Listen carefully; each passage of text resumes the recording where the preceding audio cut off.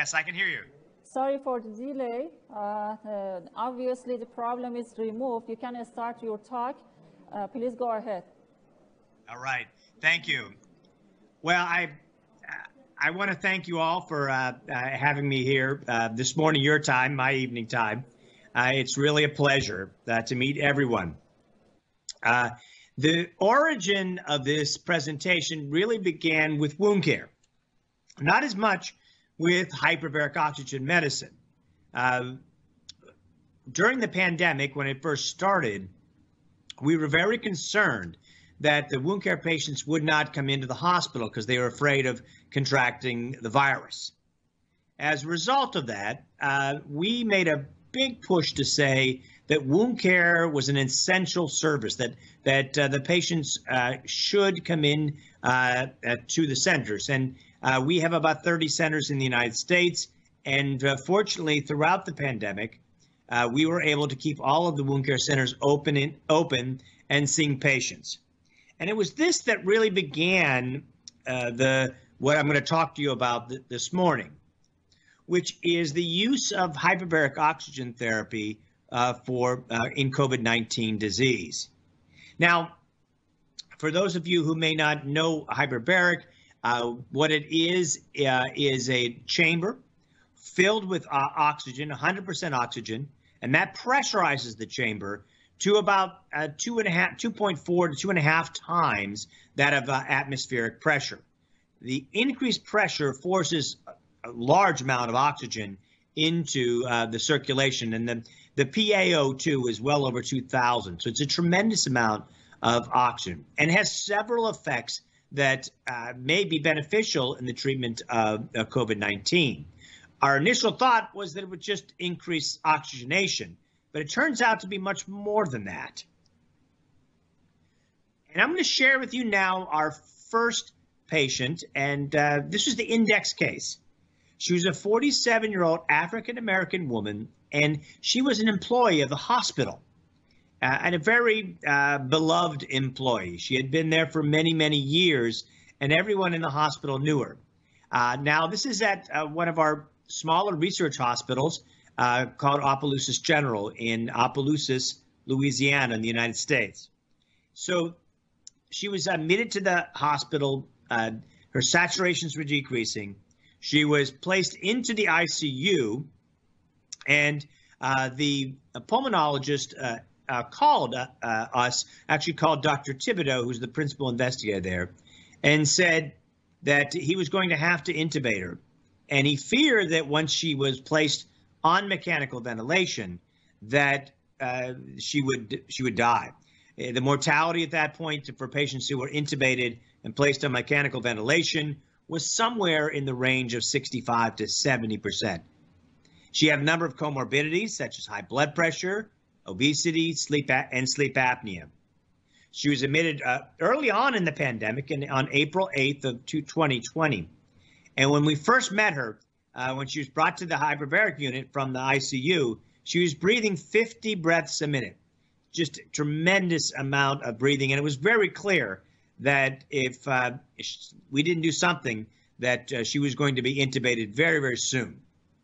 So uh, she had been uh, prior to that treated with Vapotherm, which is high flow oxygen at 100%. But despite that, her saturations were still falling uh, precipitously. Her D dimers and CRP were elevated, as so often happens in COVID 19. We uh, put her into the hyperbaric chamber at two atmospheres at 100% oxygen. And during the middle of the treatment, uh, uh, she was she wasn't responsive and Marcus uh, Speyrer, who's the who's the tech and manager there, was became very concerned. He picked up the phone that's attached to the hyperbaric, and he he was you know trying to get her to wake up, and she woke up and she was very mad at us because she hadn't slept in two days because she was breathing so hard, and now she had finally gotten some sleep, and we had interrupted her. She would get five hyperbaric treatments daily for the next five days and her D dimers fell to uh, 1600, uh, and her CRP uh, fell to 8.3 within that uh, within that short time frame. She would go home uh, in uh, roughly 10 days after she was treated with hyperbaric, and she was never intubated. Now, this was the first case, and it was only one case, but it really started us to think about perhaps uh, hyperbaric oxygen therapy might be a treatment to prevent mechanical ventilation in these patients with severe COVID 19. So, I think this is a disease we all know. Two to 14 days after exposure, patients get a fever, I get a, a terrible cough. A lot of our patients have a terrible cough. Uh, they get shortness of breath and have difficulty breathing. Uh, and then there's a number of other uh, symptoms such as loss of taste and smell. And I think everybody now pretty much is aware of the symptoms that occur. The risk factors uh, uh, male gender, hypertension, uh, diabetes, chronic pulmonary disease, cardiovascular disease, obesity, sleep apnea. The patient that we first treated, she certainly had a, a large number of comorbidities that put her at high risk. and then age over 65. The idea, based on this first case, was that uh, COVID 19 patients in the ICU with falling oxygen saturation, even though we're increasing their uh, oxygen delivery, their FiO2, they, had, they have blood clotting difficulties with elevated D dimers, and once they're intubated, the mortality rises very sharply. So when we first did this, there really weren't a lot of clinical trials available. Remdesivir, dexamethasone were, were available. Of course, now we have additional uh, therapies uh, and hopefully soon vaccines. Uh, but there were a lot of clinical trials ongoing. Uh, and what we thought was what we needed in this time at that time was you know, a therapy that was already approved by the US FDA and had a safety record. And, and hyperbaric oxygen therapy is very safe. The complication rate for hyperbaric is uh, is uh, uh, serious complications are one in ten thousand treatments. It's, they're very very rare. I mean, some patients have some ear difficulties, but for the most part, uh, it, that's uh, about the, the, the extent of it. When we looked at the uh, potential therapies, there were a lot of potential therapies, but the problem was they had a lot of potential side effects. And again, this is pre-vaccine, and we were uh, we were looking for a therapy uh, that we could institute that really didn't have a lot of side effects in patients that already had large amounts of comorbidities, and in addition, uh, patients that were that were uh, critically ill. And that's what brought us to hyperbaric oxygen therapy. Although I have to be honest with you, it, it really wasn't our idea. It was the it was the pulmonologist who thought of it and uh, he was really looking for anything that he could do to try to save this patient. And uh, he it was his idea, and uh, we gave him credit in the paper that was eventually published. What you see on this screen is uh, is the two types of oxygen uh, uh, chambers that we have. On the top is one of our multi-place chambers in which we can sit 12 people at one time, and you pressurize it with air. And the patients breathe oxygen. On the lower half, you see there's two monoplace chambers, and just one person is admitted to the chamber that's filled with 100% oxygen, uh, and that's the we use oxygen to pressurize those chambers, uh, and the patients will stay there for about two hours in total, in both the multiplace and the monoplace.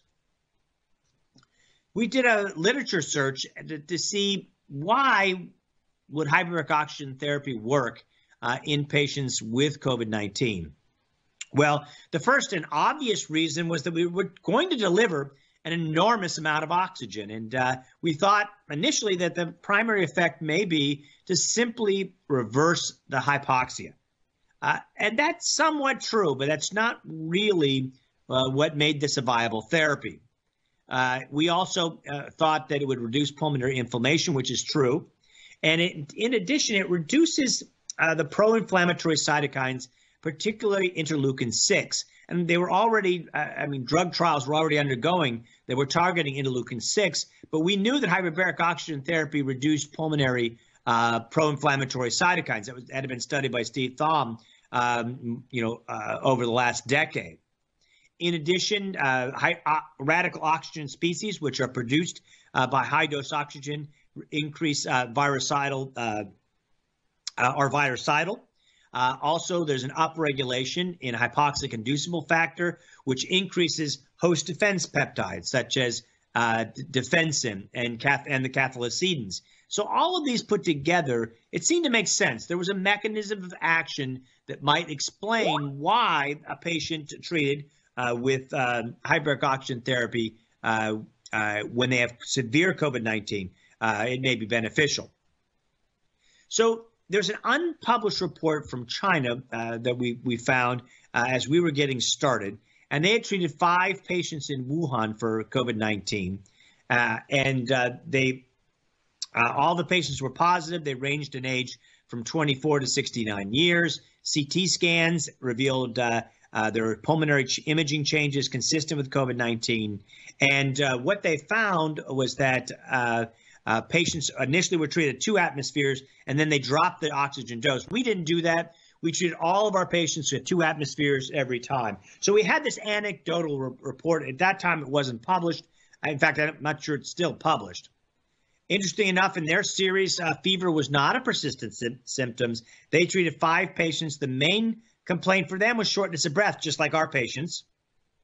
And the shortness of breath seemed to resolve early on after the early treatments with hyperbaric oxygen therapy. And later on, I will tell you that's exactly what we saw as well.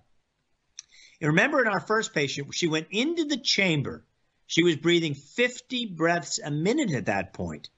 And shortly thereafter, after coming out of the chamber, when we opened up the chamber, we pulled her out. Uh, her, her, her breathing rate had, had fallen from 50 to 30, and she uh, after a couple of hyperbaric treatments would go to normal. D dimers and fibrinogens also decreased after HBO in um, uh, in the Chinese study, and our our patient, our first patient, they did as well. That hasn't stayed true in all the patients we've treated since then. Uh, but there are certain groups of patients in which the D dimers will fall. So uh, this is uh, uh, Dr. Thibodeaux there leaning up against the chamber, and this is the hyperbaric chamber uh, in Opelousas uh, General Health System in uh, Opelousas, Louisiana. Uh, and uh, this is a center where we're doing a lot of active uh, research. They have six hyperbaric oxygen chambers. So let me go through the first cases. we have a large number of cases now. But these are the first ones, uh, all treated in April of this year. The next patient was another uh, employee, 64 year old African American woman. And we know that African Americans also were at increased risk for having complications related to COVID 19. She was a diabetic, had hypertension, obesity, uh, lupus, and hypothyroidism, a lot of comorbidities. Uh, she had similar uh, tachypnea, breathing 40 breaths per minute, and despite being on high flow oxygen, she was uh, uh, still having falling saturations. Uh, she would receive three hyperbaric treatments, again, at two atmospheres for 90 minutes each treatment. And that was that's now our standard. That's what we use in, in this patient group. And uh, she would only require three treatments before she became asymptomatic. She also never required mechanical ventilation and was discharged to home uh, by the 23rd of April.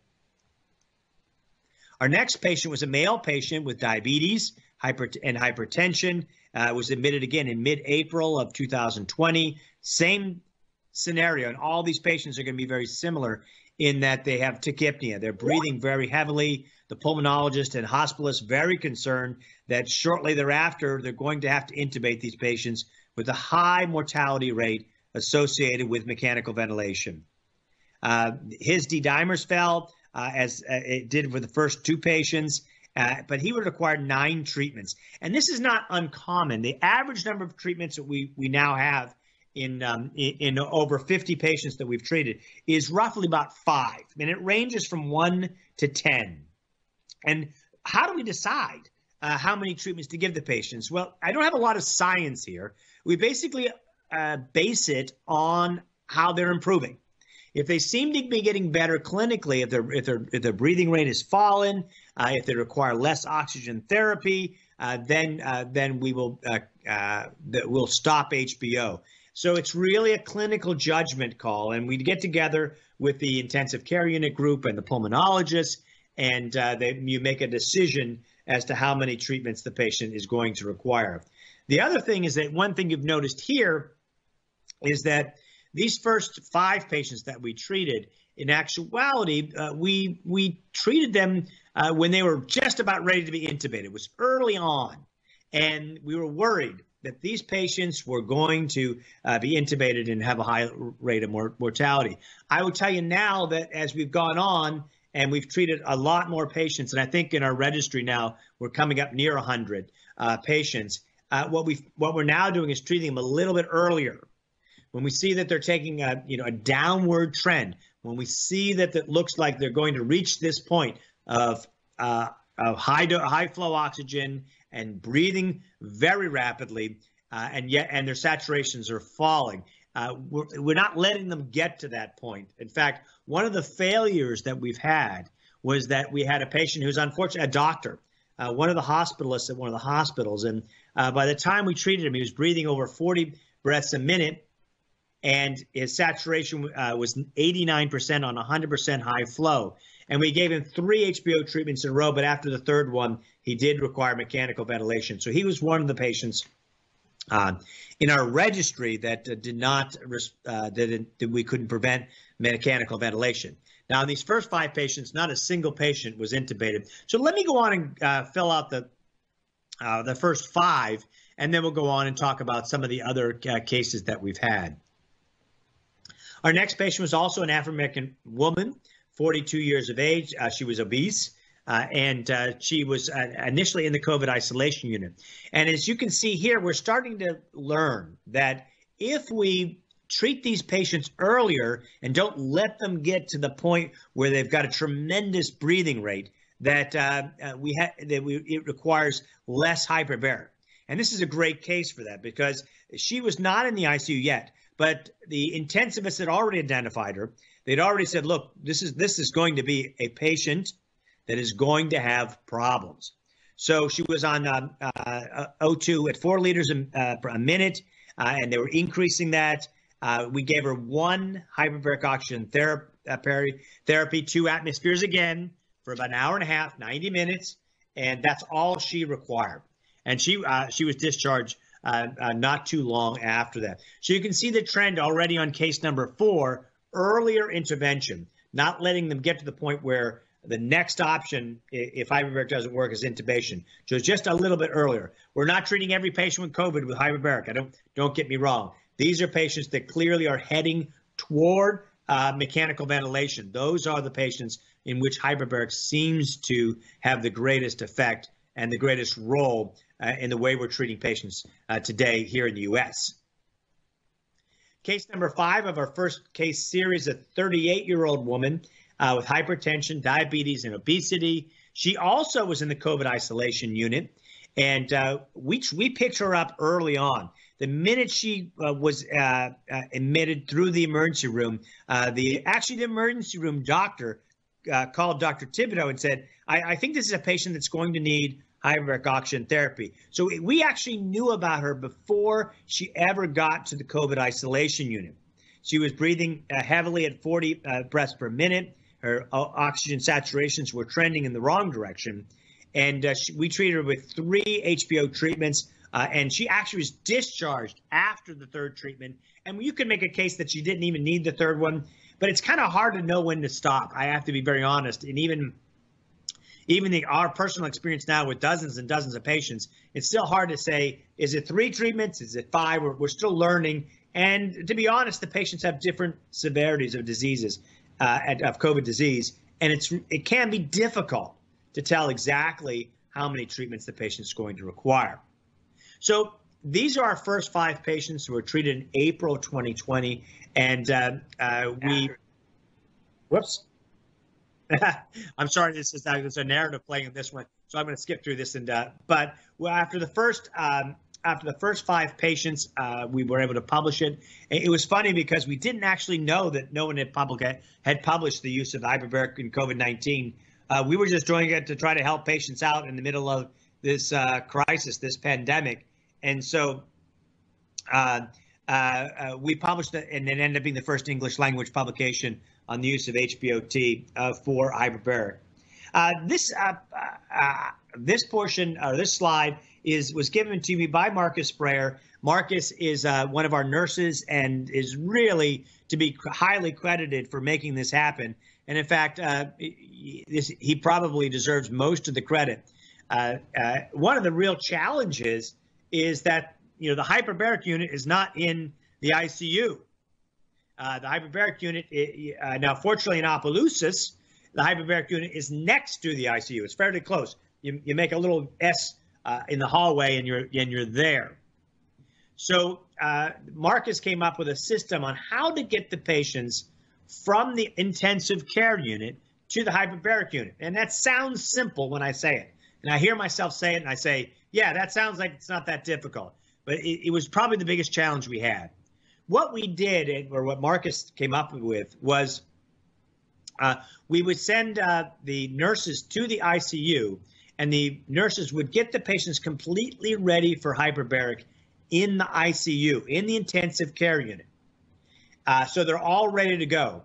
We then uh, we then uh, placed a mask on them and a, and a shield, uh, and we had and we developed a negative pressure system in the hyperbaric unit where we were filtering the air out. We made sure that there was nobody in the no patients or staff were in the path when we were bringing the patient from the ICU to the hyperbaric unit. Uh, and then we took them right from the ICU bed, put them right in the chamber, and put them in and uh, treated them with hyperbaric. And that worked. That has worked, and it still works to this day fabulously well. It really works well. And we have not a single uh, staff member has converted positive for COVID 19. So, uh, and despite, uh, and in Opelousas, uh, they've treated, I think, uh, now 28 patients in total. And, and I will tell you, in their experience, zero patients required intubation. Uh, and uh, not a single staff member has, has turned positive for COVID 19 as a result of uh, these treatment. And that's really, uh, and I have to give Marcus all the credit here. Uh, it really is uh, is his uh, ingenious way of of protecting the patients, protecting the staff, protecting the patients as they move through the hospital.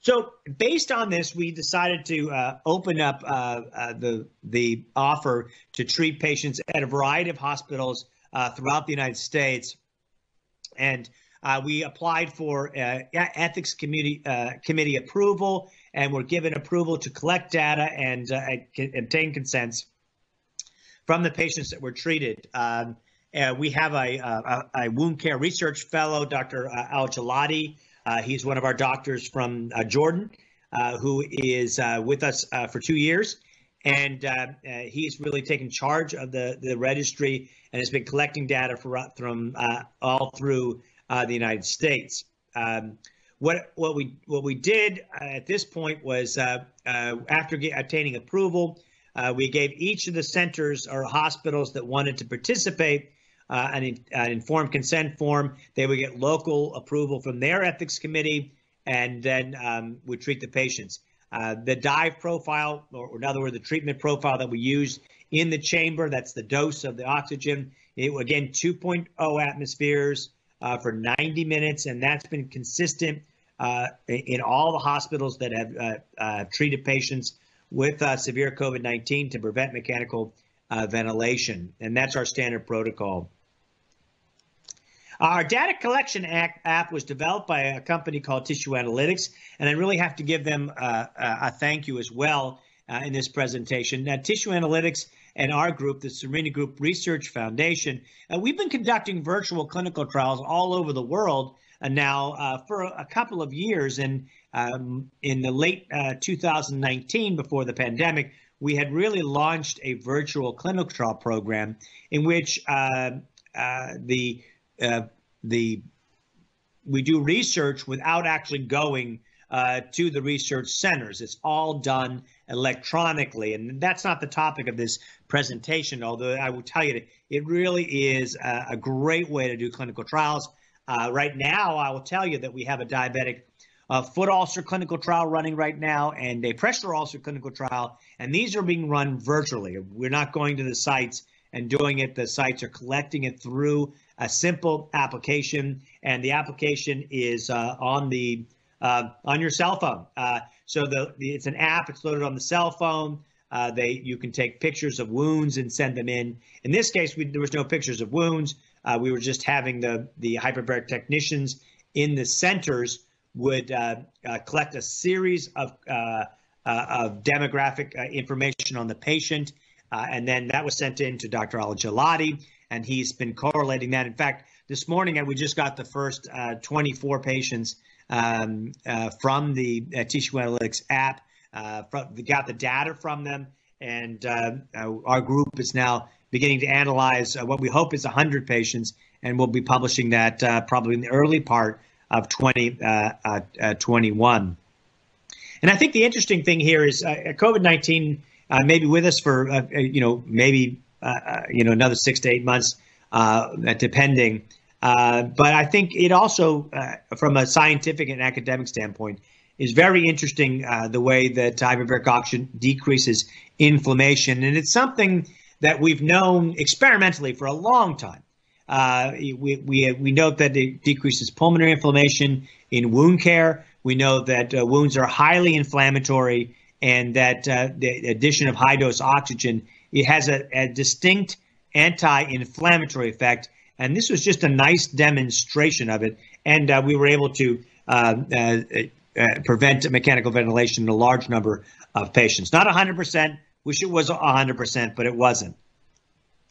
All right, so uh, uh, the uh, update from the current registry is, uh, as I said, we have uh, collated and data locked 24 of the patients treated. We have another, um, uh, at least another 24 to 28 patients um, where Dr. Al-Gelati is working on the data.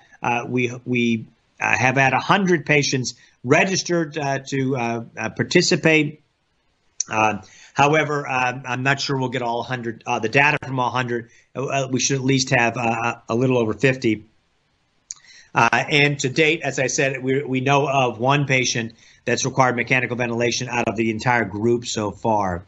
Uh, you may have questions about uh, the use of hyperbaric oxygen therapy for COVID 19. I think it's really fascinating, and we certainly have enjoyed doing it. And it, there's nothing better than seeing someone coming into the to the uh, uh, hyperbaric unit breathing uh, just continuously at 50 breaths a minute, and then they leave the hyperbaric unit that that same uh, that same day, uh, you know, with a breath count down 20 or uh, 15 to 20 breaths per minute. It really is very rewarding. And I also, as I mentioned earlier, from an academic standpoint, it's incredibly interesting that we were able to decrease pulmonary inflammation uh, in such a manner, and uh, it's uh, it's well worth additional study. Now, uh, as I mentioned before, uh, uh, hyperbaric oxygen therapy is part of our research that we do, although it's probably not the main part of our research. Our main research really fits in with this conference very nicely, and that's wound healing. And we have a number, we have actually about eight or nine clinical trials that we run every year on pressure ulcers, diabetic foot ulcers, venous leg ulcers, and on diagnostics. Uh, and uh, all those are a lot of fun. And if you're into wound care research like I am, I'm sure that uh, you're in, in, yeah, uh, enjoying it. So we have, uh, I mentioned this already, our follow-up publications. Uh, we, we Marcus and I are, are, are, working on a paper now on the safe transport of patients um, to the hyperbaric unit and how to clean the chamber room and equipment to prevent the transmission of COVID-19. Uh, the uh, folks that are looking at cost effectiveness, uh, you know, it's it's a lot less expensive to treat a patient with a few hyperbaric treatments than put them on a ventilator. And uh, I don't think anybody doubts that uh, we're going to see a marked a save cost savings. And what we're doing now is we're working with the the chief executive officer of the Opelousas General Hospital and looking at what it would have cost had we intubated those patients and placed them on a ventilator as opposed to hyperbaric oxygen therapy. And I can tell you in US dollars, it's thousands. Thousands of US dollars were saved uh, with the use of hyperbaric oxygen therapy. Uh, and then finally, uh, the analysis of the registry. Hopefully, uh, we'll have it out by uh, uh, the early part of 2021. And as I said, Dr. Al-Gelati is now diligently working through the data uh, and he's just a fabulous fellow, and I'm sure it's going to be a, fa- a really great uh, uh, publication. Uh, and uh, with that, uh, I'm going to a- end my presentation and turn it back over to you. And um, it's been an absolute pleasure um, to join this. Um, uh, to join this conference. Uh, it sounds like an incredibly interesting conference. And uh, I don't know if we take questions now or later, uh, but uh, I, I, can't thank you enough. So much for your terrific presentation, Doctor. Um, definitely, this information will be so lucrative for all of the audiences, uh, especially in this circumstance that world needs new medical therapies. Um, may I ask a question from you? Uh, what is mechanism behind it? I mean, uh, does uh, hyperbaric oxygen reduce reactive oxygen species or not? Well, we, we actually, it's interesting because uh, hyperbaric oxygen actually increases reactive oxygen species.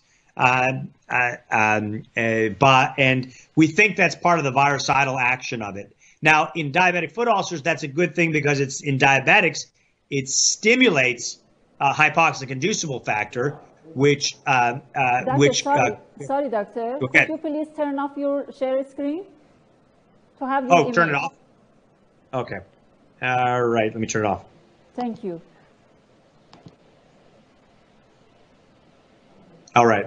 How's that? It's okay. Thank you. All right. There we go. Thank you. Sorry. All right. So um, I think the way it works is uh, that it decreases pulmonary inflammation. And if I had to guess, I would say uh, that uh, particularly decreasing interleukin 6 and other pro inflammatory cytokines are uh, how it works in COVID 19. Okay, thank you. And uh, another question What is the most serious and important side effects of using hyperbaric uh, oxygen in treatment of uh, wounds, for wound management, I mean? So, the biggest problem that we have is ear barotrauma.